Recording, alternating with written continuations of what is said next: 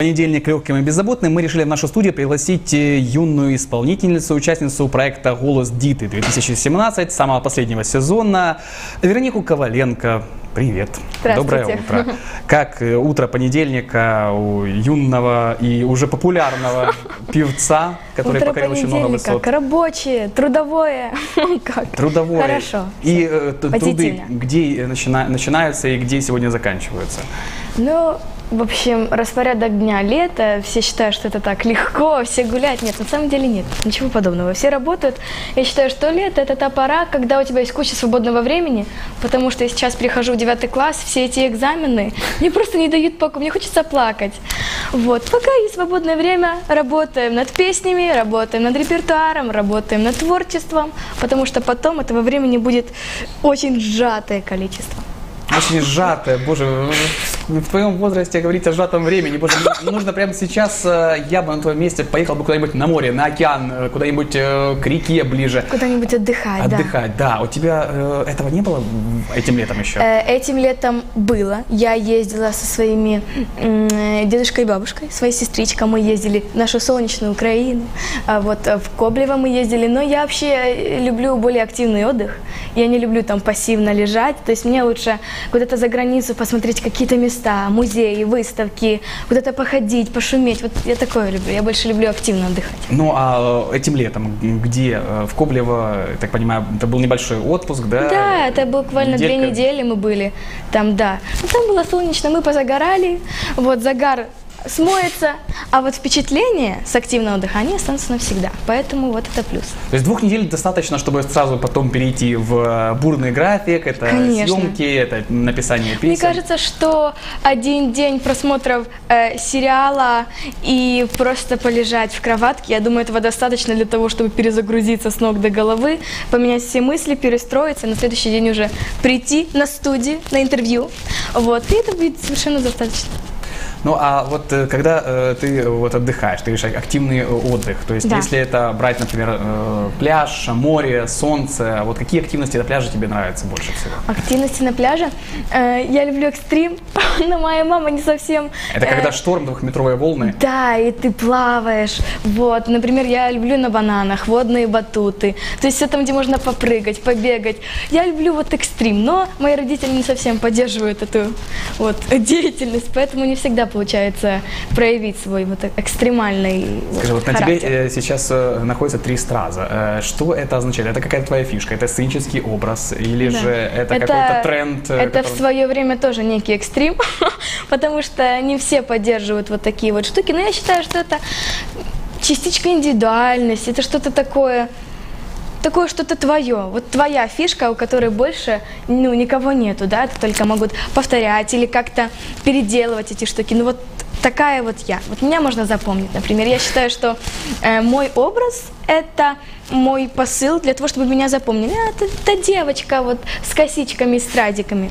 Вот я считаю, что это очень круто, хорошая характеристика на самом деле. Мне приятно. Ну вот э, ты сейчас на пике популярности, э, наверняка тебя Ну, запом- так запомнили с- не только вот э, этими тремя стразами, а, наверное, твоими выступлениями. Вот тут мы видим указано, что есть э, немало титулов, это гордость Украины. Да. А второе место в международном конкурсе Средизем... Средиземное море, Израиль Гран-при, участница фестиваля Черноморские игры. И Да. тут можно дальше читать.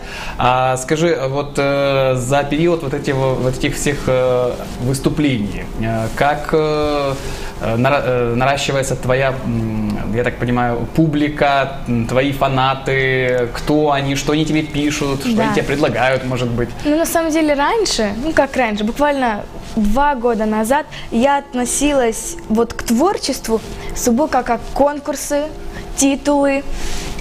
А сейчас, когда я выступаю на каком-то конкурсе, я понимаю то, что это не совсем конкурс, там все равно сидят зрители. Даже те же жюри – это тот же зритель, которые хотят увидеть красивую картинку, которые хотят увидеть красивый голос и красивый образ, красивую постановку. То есть все же нужно к этому относиться более легко и более так, как ты чувствуешь. То есть не нужно там делать какие-то высокие песни такие. То есть я люблю так, чтобы мне было комфортно, чтобы моему зрителю также было параллельно комфортно. То есть, вот. Ну а вот армия поклонников у тебя уже набралась какая-то, которая вот э, все время Ну. отслеживает э, твои выступления, э, узнает, э, где ты будешь э, там, может быть, петь через два дня, Да, конечно, неделю. такое есть. Но я называю их не поклонниками, я называю всегда это аудитория.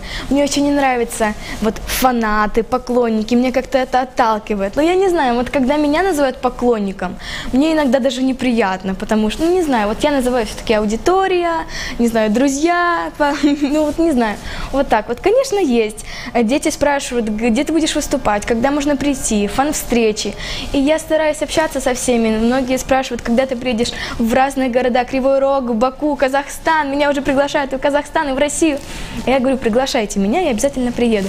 Потому что возможности каждый день ездить в Кривой Рог или в Казахстан, у меня такой возможности нет, но я бы очень хотела. Я бы очень хотела сделать маленький такой мини-тур по городам, чтобы пообщаться со всеми, не только даже городами, национальностями, познакомиться с людьми не только с Украины, но и, например, за границей. Я считаю, что это настолько расширит твой даже кругозор, ну, то А есть... сколько полезных знакомств будет в каждой стране? Куда, вот куда, куда не приедешь, там уже будут да, все с свои, людьми классными. свои люди. Ну давайте сделаем небольшую паузу, небольшой информационный ролик, после чего снова вернемся.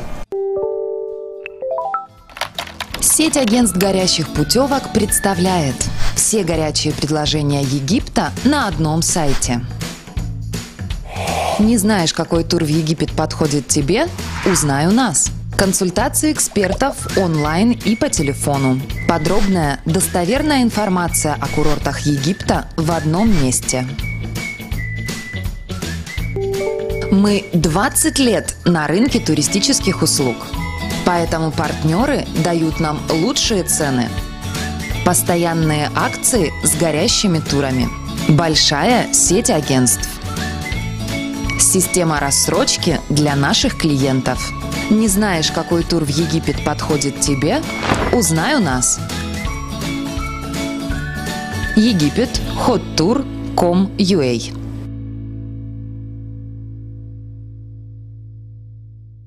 Возвращаемся в эфир. У нас э, Вероника Коваленко, участница «Голос дети» в гостях. Э, Мы немножко поговорили о том, где она отдыхала этим летом. И прямо сейчас давайте немножко порвемся в ее инстаграме. Э, Говорили, кстати, тоже о ее поклонниках. Возможно, вы сейчас как раз ее и смотрите. Пользуясь случаем, Когда можно махать туда? Привет. вам привет. А, Скажи, вот твои поклонники, вот, ладно, хорошо, твои друзья. Да, Будем моя аудитория, от этого, да, твоя аудитория, зрители. да? А, Самые лестные комплименты, самые лестные отзывы под э, твоими выступлениями. Э, Какие ты помнишь больше всего, которые вот тебя вдохновили и вот прямо аж заставили биться сердце так в унисон? Самое лестное. Ну, знаете, есть, э, я даже могу назвать ник, есть э, дети, взрослые, подростки, которые комментируют, лайкают в разных соцсетях всегда. Э, каждое фото, от них идет комментарий, это на самом деле очень приятно. Есть, конечно, э, я называю это люди-комментаторы. Вот э, на самом деле это не обидно. Люди-комментаторы это те люди, которые всегда высказывают свою точку зрения. Причем иногда она бывает позитивной, а иногда она бывает негативной. И спасибо моим родителям за то, что они научили меня относиться к этому более нейтрально, да, то есть более переводить это все-таки на какую-то хорошую точку зрения. Да, тут немножко наши режиссеры активно изучают твою страничку и думают, чтобы такого вытянуть э, нам и посмотреть, э, чтобы узнать о тебе чуть больше. Ну, вот если э, ты видишь какой-то вот супер такой классный отзыв, э, Да. который прям красиво изложен, очень кратко, а, очень сильно Грамотно. энергетически, да, э, вот какие тебя чувства переполняют, и что э, дальше вот тебя побуждает это делать? Но на самом деле мой самый первый шаг, я обязательно зайду на этого человека, посмотрю его профиль, пролайкаю его фотографии, напишу ему комментарий, напишу ему личное сообщение, побл- поблагодарю его, конечно же. Вот. И затем, не знаю, мне сразу хочется, например, когда я выставляю фотографии спортзала, Например, когда я стою уже уставшая второй час, мне хочется быстрее бежать, например. Или когда мне пишут то, что у меня красивый костюм, мне хочется звонить дизайнеру, говорить, Ира, давайте придумывать новые костюмы. Или, не знаю, мне хочется вдохновлять, ну, не знаю, мне хочется вдохновлять не только людей, но вдохновлять и себя. Потому что, на самом деле, это первоочередно, я думаю, важно. Сначала вдохновить себя, чтобы потом вот эта вся энергия, она перешла к зрителю. Поэтому эти все комментарии, которые вы пишете, вот «люблю тебя», ну как вот это можно прочитать, ну сразу хочется светиться, хочется радоваться, хочется зайти на профиль человека. Ну, э, пока э, заходят на твой профиль, скажи, на профиль каких артистов ча- чаще всего заходишь ты и кто является твоим эталоном, да, к чему ты хотела бы стремиться, к кому ты хотела бы, вот, возможно, присоединиться на сцене, с кем бы ты, возможно, хотела бы Да, я хочу работать. рассказать э, историю. Мне очень часто спрашивают, какое мое хобби. Я раньше отвечала рисование, плавание, а сейчас отвечаю то, что я всегда просматриваю интервью артистов. Причем не зарубежные наши, вот Дима Монатик, например, Надежда Дорофеева, да, Время и стекло, и разные наши артисты, я смотрю их, их интервью, да. И сейчас, почему-то уже 14 лет, когда мне исполнилось, я перешла на зарубежное. То есть я уже просмотрела все наши интервью, и я теперь перешла на зарубеж. Все, все, под- все подряд, Я всех артистов. Прям вот с 2012 до 2018 я просто сидела целыми днями и смотрела. Мне настолько это было интересно, не знаю, отвечать как Ты правильно. хочешь э, стать ведущей в будущем или все-таки Э, оставаться артистом? Ну не то, что нет, я хочу быть разноплановой. То есть я хочу, я хочу петь, я хочу танцевать, я хочу играть, я хочу вести, я хочу красиво говорить. Я многое хочу. Вот, и к многому иду. А, и сейчас меня вдохновляет очень Дуалипа, например. Я начала ее смотреть, ну, буквально ну, недели две назад. Я уже пос- посмотрела интервью, посмотрела уже э, ее стиль, ее образ жизни, что она кушает, где она занимается. Ну, вот вдохновляет Ну вот пока давай что. представим, что ты сейчас ведущая, а я, например, твой гость. Вот как- какие пару вопросов ты мне задала? Вот такой небольшой тренаж, небольшой такой челлендж. А, ну, хорошо. Да, я теперь такой скромненький, вот так, как будто бы первый раз вот Не стесняйтесь, не стесняйтесь, расслабьтесь, не хорошо. зажимайтесь. Это, Да, ж- да, это, даже, это же зажим, не нужно такого делать. А что вы будете спрашивать? Что я буду спрашивать вас? Ну, на самом деле, как у вас настроение? Ой, настроение, вы знаете, вот так спать хочу, вообще не отоспался и даже не знаю, вот как А вы чем-то вчера занимались? Ой, да, целую ночь постоянно танцевал, э, репетировал, э, пел, э, и ни то- ничего не получилось. А Какая у вас мечта? К чему вы стремитесь? Ой, слушайте, ну я на камеру не готов так на это отвечать. Нет, ну вы сказали, что вы пели. Ну, возможно, вы хотите добиться высот в шоу-бизнесе? Э, Да, я хочу, чтобы э, оказаться на аллее славы Голливуда, чтобы выгравировано было, было мое имя и фамилия. Вот, но я не уверен, что у меня это получится. А как вы идете вот к своему пути? Ну, я пытаюсь все вот делать одновременно. Вот э, утром танцы, вечером йога, э, в обед э, актерское Вот человек, вы отдыхаете? Да, и, и- Александр. И по ночам еще бег делаю, э, про пробежки делаю. Мне, я хочу вам дать маленький совет. Мне Давайте. кажется, вам нужно больше отдыхать. Мне кажется, вам нужно один день посмотреть э, фильмы и отдохнуть. Мне А- кажется, тогда у вас будет висеть ваша табличка в Голливуде, и кто-то будет идти и наступит на ваше имя, на вашу звездочку. Класс. На я, я буду целовать эту подошву потом. Да. Оторву этот ботинок от этого прохожего и буду беречь у себя дома. Ну хорошо. Итак, э, небольшой тр- тренаж э, у нас прошел. А вот скажи, э, вот ты когда просыпаешься, какая вот мелодия, например, сегодня у тебя первая играла в голове? Я знаю, что наши творческие гости, они часто для того, чтобы взбодриться, у них в голове часто играет очень много мелодий, в унисон, причем разных одновременно. На самом Вот деле, сегодняшняя мелодия – это лай моей маленькой собачки. Она, просто- она сегодня меня разбудила, она меня сегодня А за- облизала, расцеловала всю. Что за песня? Это А, э, что за песня? Э, ну, такой, знаете, э, свирепый лай голодного животного. Сегодня у меня была такая вдохновительная мелодия.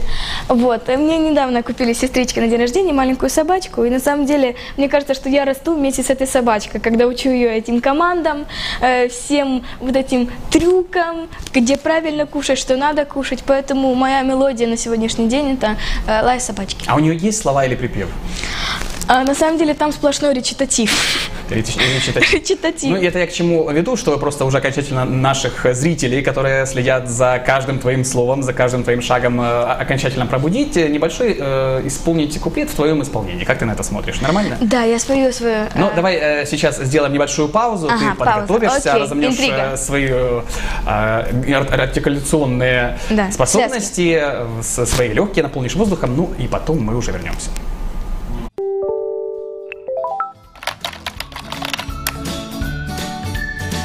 Сеть агентств горящих путевок представляет все горячие предложения Турции на одном сайте. Не знаешь, какой тур в Турцию подходит тебе? Узнай у нас. Консультации экспертов онлайн и по телефону. Подробная, достоверная информация о курортах Турции в одном месте. Мы 20 лет на рынке туристических услуг, поэтому партнеры дают нам лучшие цены. Постоянные акции с горящими турами. Большая сеть агентств. Система рассрочки для наших клиентов. Не знаешь, какой тур в Турцию подходит тебе? Узнай у нас. Турки hottour.com.ua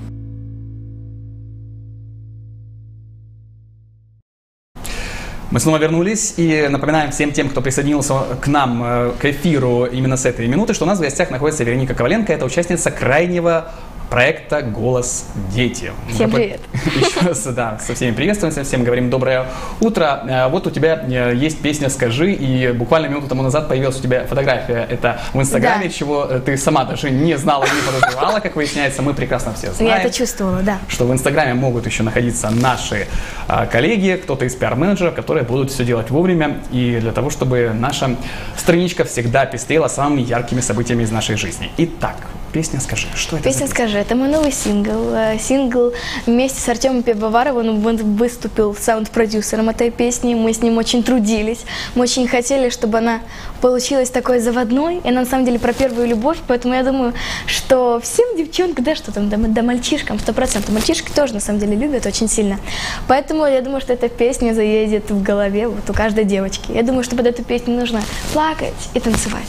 Вот. Ну что ж, давай попробуем э, именно утро понедельника превратить в небольшие слезы, возможно, радости, Радости. и которые будут подбивать всех э, слушателей твоих, чтобы они чуть-чуть потанцевали, ну хотя бы даже сидя, чуть-чуть ножки Да, так воскресили. И давай прямо с этого момента припев или куплет. Скажи, скажи, что помнишь ты. Скажи, скажи, что помним мы. Ау! Мы снова играем так, как хочется мне самой. Рисую я наскальными рисунками вновь любовь. Сама не своя, и что? Со мной это дежавю. Опять и опять ловлю вновь. Запоминаю. И пошел там куплет припев.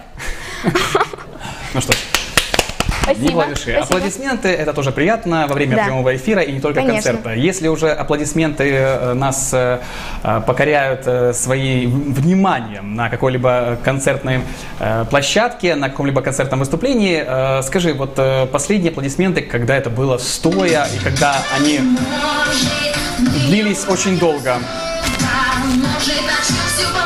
Всё, давайте потанцуем чуть-чуть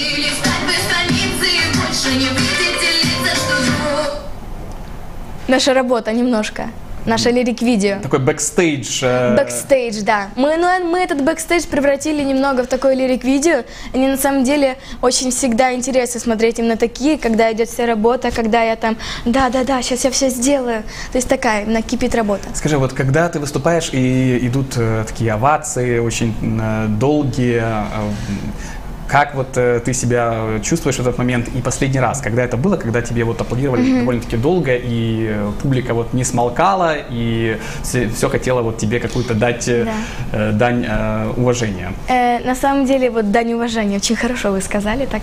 А, я больше ценю не аплодисменты в конце песни, да, когда это нужно, это уже все привыкли делать.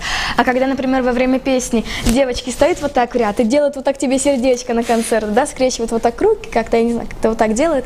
Это на самом деле так приятно, я ценю именно такие моменты. Или когда, например, подпевают твои кавер-версии, да, то есть уже дети, подростки настолько знают, да, именно твои каверы, вот эту всю мелодию, всю вот правильную ритмику, и когда вот поют вместе в унисон, я считаю, что вот именно это вот дань уважения такая. Я считаю, что вот Скажи, это приятно. следующие твои выступления, где они будут, когда они будут и что это А, будет? Это все мое расписание есть э, на сайте веронikakovalenko.com. Правильно я смотрю туда.